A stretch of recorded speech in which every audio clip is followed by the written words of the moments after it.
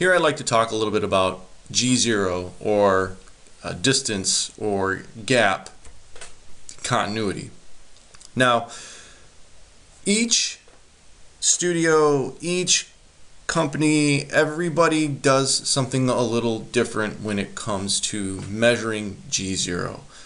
And that band runs all the way from 0.001, some people are very strict, all the way to point, I've seen all the way up to 0.01 in some cases. And, and, and, and it can be even looser depending upon what you're building and, and what's allowed.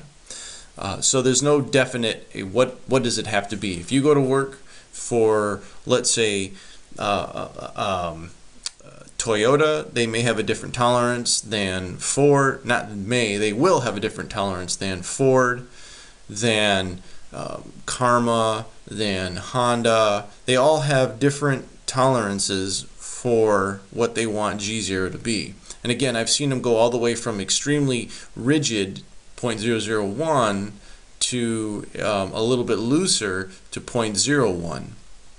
And uh, engineering may get any surfaces and just join all the way to point one because for what engineering is doing, a point one is more than acceptable.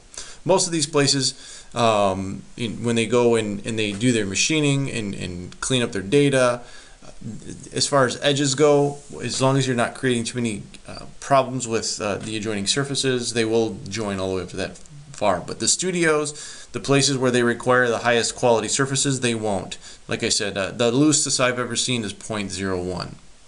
And what does that mean? So I have a section through some surfaces, and I'll rotate this out of uh, this view in a minute. But just to show you, um, now imagine that this is a uh, the radius for whatever tolerance I specify. Let's say that tolerance is 0.01, just to make it easy for me. So if this is a 0.01 tolerance, that means anything within 0.01 is allowed. So in this condition, or in this state, you'll see I have just a natural true gap between these two surfaces. This is within that 0.01 band, so that 0.01 acts as a radius around those edges.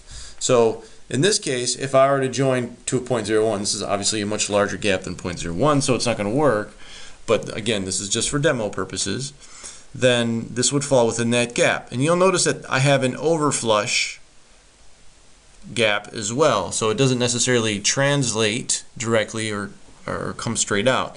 This is a condition, again, because it's within that band, that, that 0.01 band would still work. Now you can see up here, this is out of that band. It would not work. And the same thing for this. If this were pulled back outside of this band, it would not work. It would not join to within that tolerance. So it's, it's that range within a radius of that edge running all the way around. And the way that I set this up as a demonstration is I just had a couple of surfaces and uh, did some offsets and some translates to, to show you that. And the reason why that, that um, I did it in said fashion is because that's exactly how the system is looking at those gaps. It's looking at it as this is just a circular sweep along that edge. Okay, and this edge, right, put that radius of whatever gap is allowed, and everything within that gap will get joined. It doesn't matter where it sits. Even, even if I have a condition, let me go ahead and hide this, where I have a gap overlap. So in this case, I show this, there we go. In this case, I have an overlap condition. You can see endpoint here to endpoint here. So this would overlap, but it falls within that boundary. It falls within that range. So that would be an, allowable condition as well. So that being said,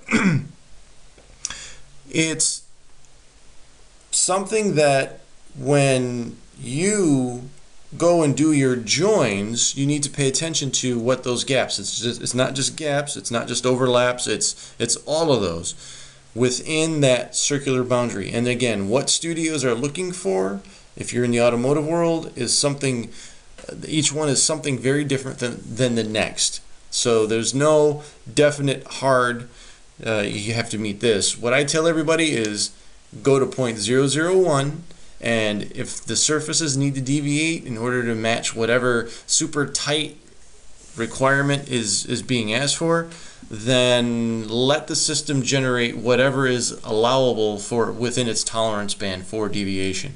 Most of the time, you will get a 0.001 or something really, really close. Um, very seldom do you get something above, let's say 0.005, 0.006. It does happen, sloppy modeling, especially when you're going into freestyle and you're, you're using a bit more of a tolerant package rather than a GSD, which has a, a, a tighter tolerance than, say, the freestyle stuff. But, um, but you can you can pretty much nail those tolerances down, uh, or I should say, that meet those tolerances nail, nail those gaps down to within whatever allowable tolerance is there.